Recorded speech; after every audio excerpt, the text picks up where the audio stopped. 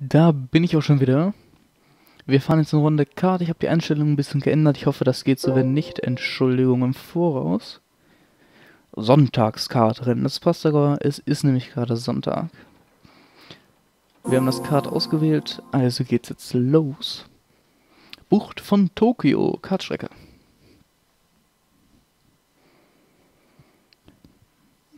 Nun ja, die Karts. Die lassen sich komisch fahren, meiner Meinung nach. Also vom Handling her sind die.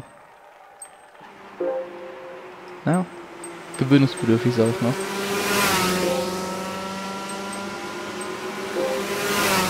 Man kann da auch nicht so viel rausholen durch Schalten. Ich meine, das ist ja einer der Hauptgründe, warum man manuell schaltet. Dass man halt viel Zeit sparen kann im Gegensatz zu einer automatischen Schaltung. Aber das ist halt so, dass die Karre nur ein Getriebe hat wie man gerade sieht.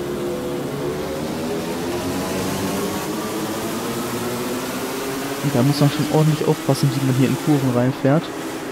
Wann man, wo, wann man bremst und äh, ob man in andere reinfährt oder nicht. Weil gerade hier, wo, das meine ich, der eine kehrt vor, oh, wir weichen aus und zack ist das Ding fast außer Kontrolle.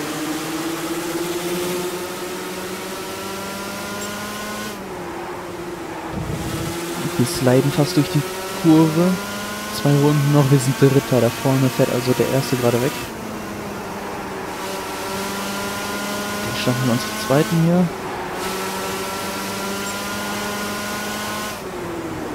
Die relativ enge Kurve kriegen wir diesmal auch richtig. Richtig so. So, dann holen wir uns in. Ja, perfekt innen geholt. Führung.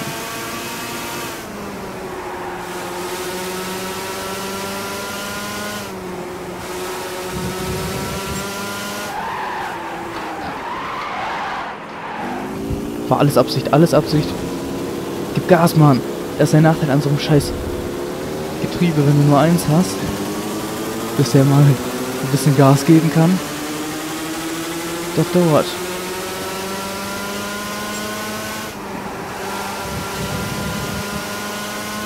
Und das heißt mit zweiter Platz. Verdammter Fehler.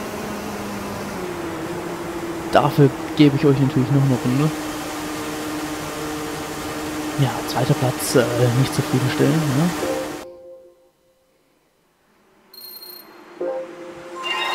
Uh, trotzdem aufgestiegen.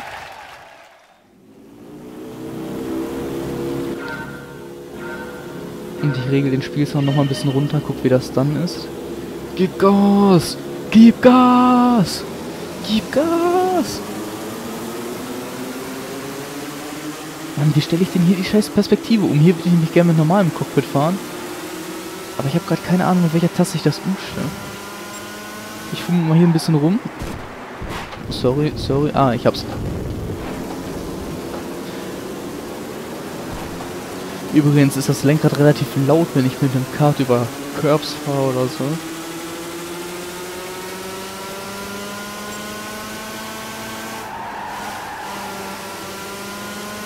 Yeah, voll das Kart-Feeling. Kann ich natürlich nicht einschätzen. Ich bin noch nie Kart gefahren. Und wenn ich so in echt Kart fahren würde... Oh mein Gott. Aber ich würde ehrlich gesagt gerne mal Kart fahren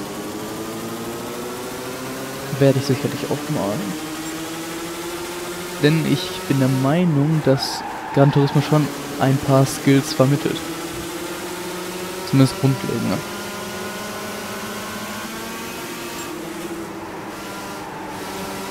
Ja, wir holen uns außen. Also hier ist noch nichts verloren in der Runde. 10 Sekunden, das ist doch eine Menge. Aber nicht für uns.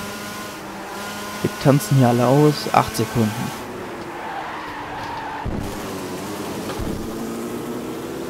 Mann, Mann, Mann. Kartfahren, wie gesagt, nicht so mein Ding. Ich kürze das mal eben ab. Obwohl, nee, ich kürze das nicht ab. Da kriegen wir nochmal Kohle, oder? Doch, nee, wir kriegen keine Kohle mehr, glaube ich. Ich glaube, man kriegt nur Kohle, wenn man die anderen Events wiederholt. Bei denen hier nicht. ist ja ein Spezialevent.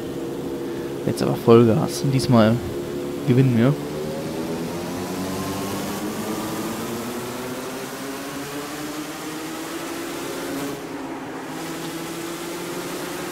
Das Tolle bei dem Kartfahren hier ist, man muss sich nicht wirklich an der Ideallinie halten. Man darf nur halt nicht bremsen, wenn man schon die Kontrolle verloren hat.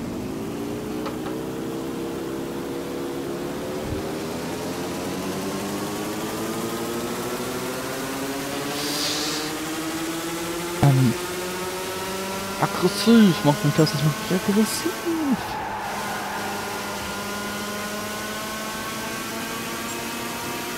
Ach, sieben Sekunden ist noch nix. Aber den haben wir noch abgefangen, den Dreher.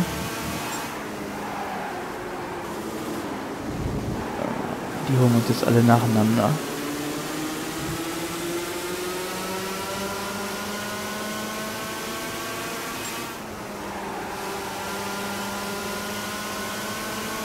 Perfekt rausgekommen aus der Kurve. Innen ansetzen. Verdammt! Neustart. Verdammt. Ich mache das Spiel noch mal ein bisschen leiser, einfach nur damit ich die verschiedenen Sachen einer Aufnahme überprüfen kann. Go!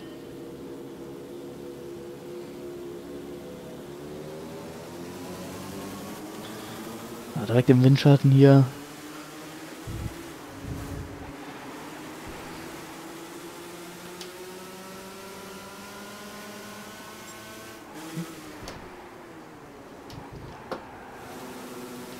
So, zweiter. Jetzt den noch schnappen und dann ganz vorsichtig fahren.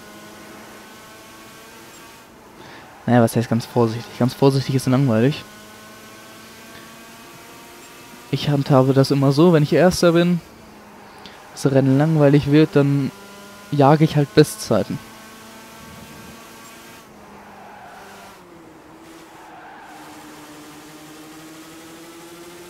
Also bisher Bestzeit 36 Sekunden. Die wird man jetzt locker toppen können. Wir müssen ja nicht mehr anfahren. 25,7. Die toppen wir auch noch. Oder auch nicht. Nein, wie fährt man hier nochmal zurück? Ich glaube gar nicht. Aber durch die Topzeit gerade eben haben wir genug Vorsprung. Ja, das dürfte reichen. Eine Sekunde ungefähr.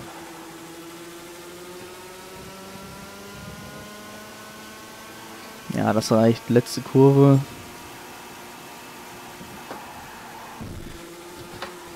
Wuh, wuh, wuh. Nein, ich wollte euch natürlich nur Angst machen. Das hat locker gepasst. Steht ja auch rechts oben, hat gepasst. Hahaha. mein Gott, der war auch wieder schlecht. Und noch ein bisschen Cash oben drauf. Level 4.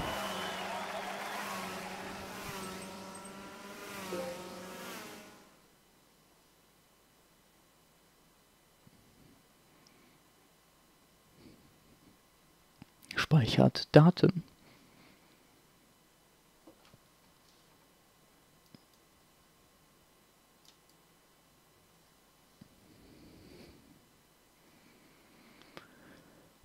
Den können. Ach, es gibt noch eine zweite. Ja, dann äh, natürlich, zweite Strecke. Machen wir auch.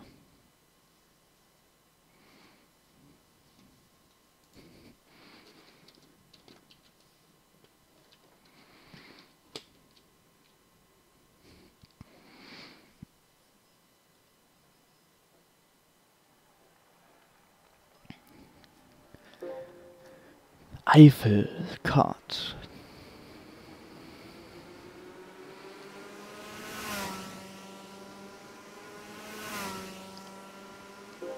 Start.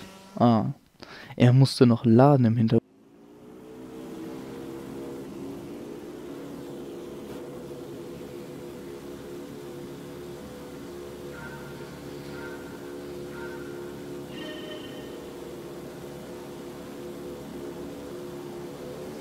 Auf die Außenbahn ziehen.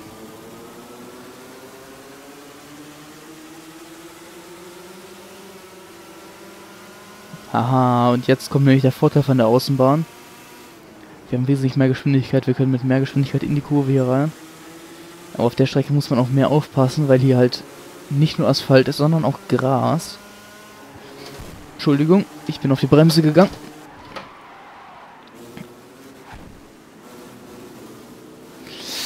Ja.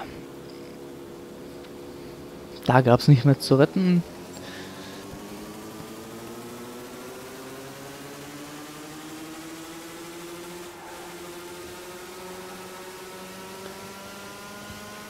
Gucken wir mal, wie groß der Rückstand ist. 8,5 Sekunden, da kann man noch was reißen.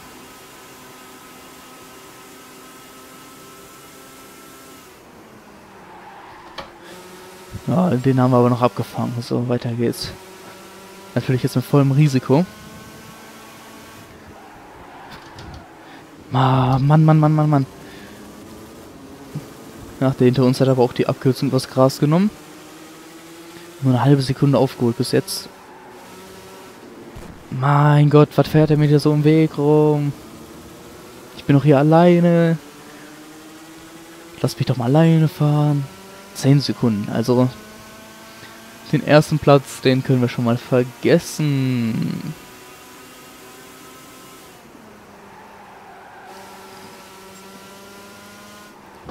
Wird aber auch nicht weniger, ne?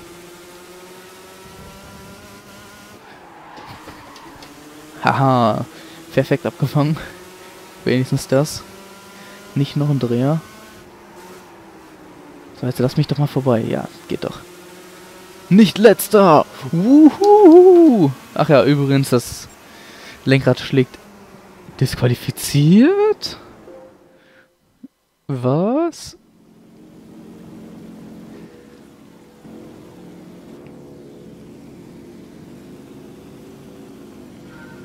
zwei, eins, Vollgas.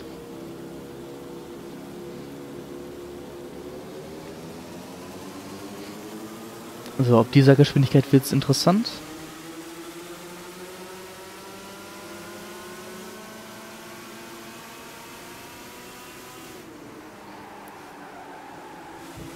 Wow, wie wir da geflogen sind.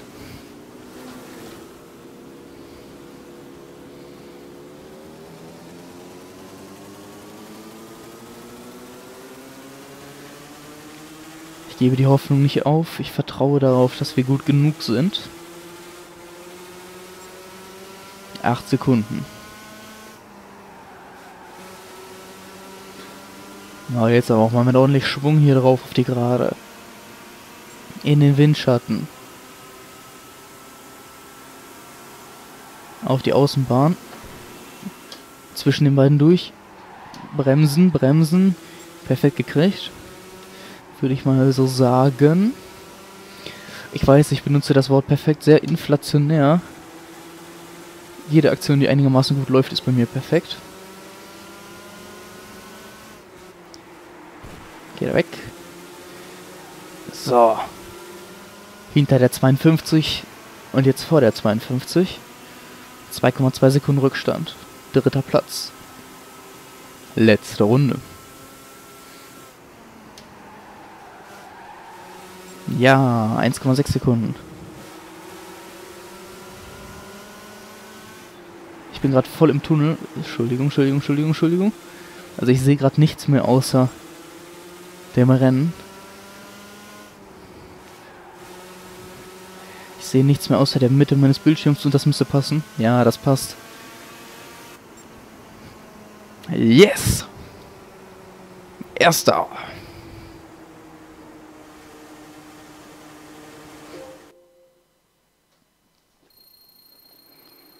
Und dick Cash obendrauf. Vorteil von den Spezialveranstaltungen, die geben richtig dick Kohle. Level 5. Uhu. Natürlich könnte man da noch mehr Cash rausholen, wenn man ein bisschen wartet. Einfach jeden Tag einmal kurz Gran Turismo anmacht. Und dann, wenn man hier, ich weiß nicht, wie viel das Maximum, 150%, 200% erreicht hat, dann... Aber Das ist doch... Ich würde schon fast sagen, das ist Cheaten. Level 5.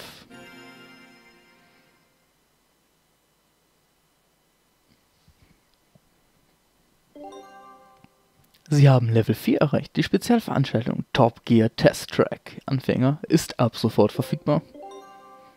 Sie haben Level 5 erreicht. Die Amateurserien sind ab sofort verfügbar.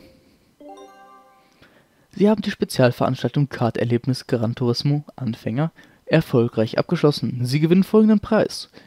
Hupennummer 190. Schön zu wissen.